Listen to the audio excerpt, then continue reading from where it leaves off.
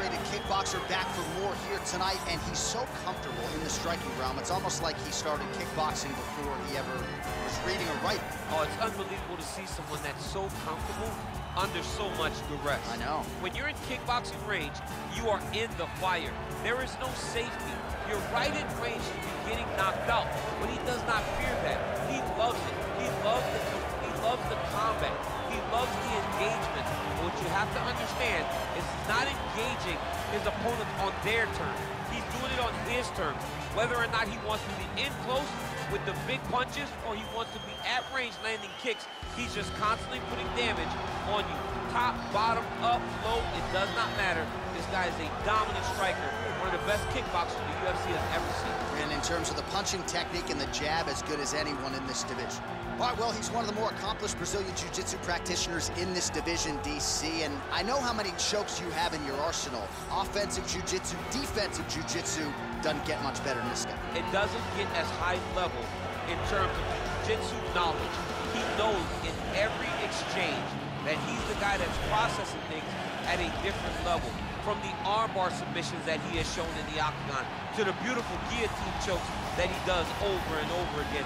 And don't think that he won't roll for a D-bar and get a submission. Right. It's just constant danger when you're in the jiu-jitsu with this guy. And even the high-level wrestlers that he's fought have paused to try to take him down because of that patented guillotine. It's so truly a case of pick your poison with this Brazilian jiu-jitsu practitioner. Ladies and gentlemen, this fight is three rounds in the UFC welterweight division. Introducing first, fighting out of the blue corner. This man is a kickboxer, holding a professional record of 12 wins, no losses. He stands 5 feet 9 inches tall, weighing in at 170 pounds. Fighting out of Riverside, California, USA, El Toro. And now introducing his opponent, fighting out of the red corner. This man is a jiu-jitsu fighter, holding a professional record of 30 wins, 12 losses. He stands 6 feet 1 inch tall, weighing in at 170 pounds. Fighting out of Sao Paulo, Brazil, Demian Maia! And when the action begins, our referee in charge, Dan Miragliotta. Dan Miragliotta. You ready?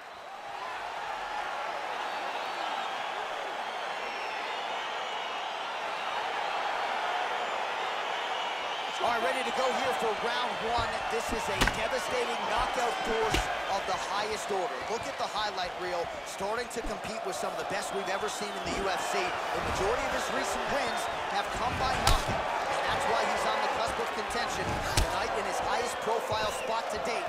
He'll try to register another KO and get on the mic and call out his shot. Look at him working at trying to shut the liver down. So there's the early takedown. He told us on Thursday he didn't necessarily see a path to victory if he couldn't get takedowns. That is certainly a good sign. Right away, he got the takedown. I don't believe they could have imagined that it would work so well so early. Great job. Beautiful kick. Oh! Nice hook lands. Oh, big left. Just over three minutes to go. Just out of range with that left hook. Grab the back of the head, pull it forward on the head, and then land those beautiful punches. Oh, big strike lands. Big strike lands. Now he looks move on the ground. Another nice transition there. Such a high-level grappler. You don't see that very often. Well, it's one thing to have length, it's another thing to use it, and he does it as well as anyone. Nice kick there by Maia. Able to land there with the straight left. Yeah. Oh, huge shot finds the target there. Great shot lands. Now we got to find that follow-up attempt. The kill shot is what they call it to go and end the fight. Liver kick. Oh, straight right. All right, he engages in a single collar tie here. When you're in the clinch, you can pull down on the head and land these beautiful punches to the head. Oh, nice.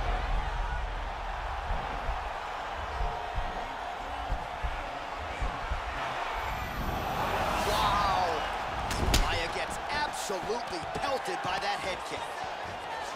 And now he's secured back position. Maia's got his back.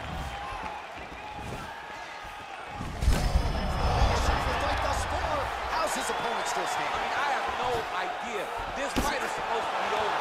It might not be over now, but it's going to be over very soon. Good body shot there.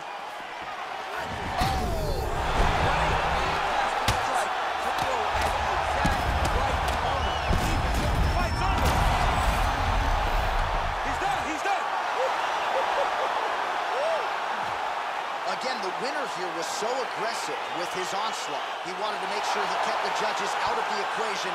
Mission accomplished on that front as he gets the TKO victory here tonight. All right, we'll take a look back at the highlights. You know we're going to find that nasty head kick somewhere in this highlight rip. Just an incredible result for him here tonight. A very nice head kick to finish the fight, but don't ignore all the work he did with his hands and give credit to the opponent. The opponent was in there every step of the way. And in order to get a fight of the night like he got tonight, Bruce Buffer now with the official decision. Ladies and gentlemen, referee Dan Miragliotta has called a stop to this contest at 4 minutes, 49 seconds of the very first round. Declaring the winner by knockout, shutting that smile off tonight. The celebration is on as he gets a huge win by knockout tonight. I got to think there are a few better feelings in the world than walking into an